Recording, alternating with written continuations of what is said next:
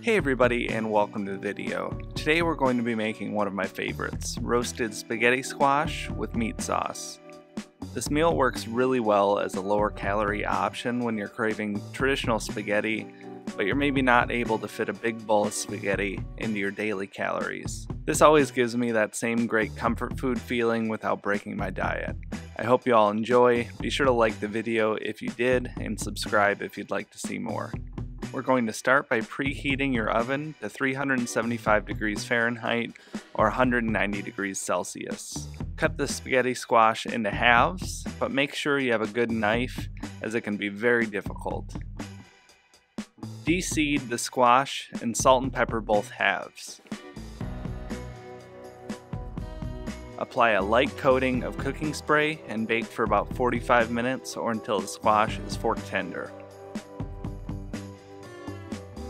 While these are cooking in the oven, it's time to brown our ground beef and make our meat sauce.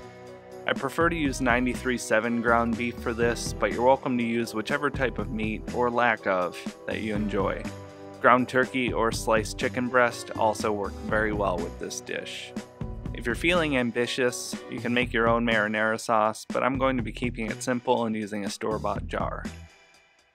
Once the meat is browned and you've added in the sauce, you'll want to set this aside for when the spaghetti squash is finished. When you're taking these out of the oven, they will be extremely hot. Be sure to let them cool and protect your hands.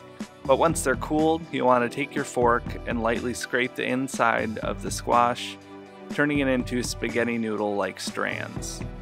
Just top the squash with the meat sauce and a bit of mozzarella, then finish them in the oven to melt the cheese. And that is it. This recipe comes out to about 400 calories per half for a giant portion of what is basically spaghetti. Whether it's for a home cooked dinner with the family or your weekly meal prep, you'll have to be sure to give this one a try.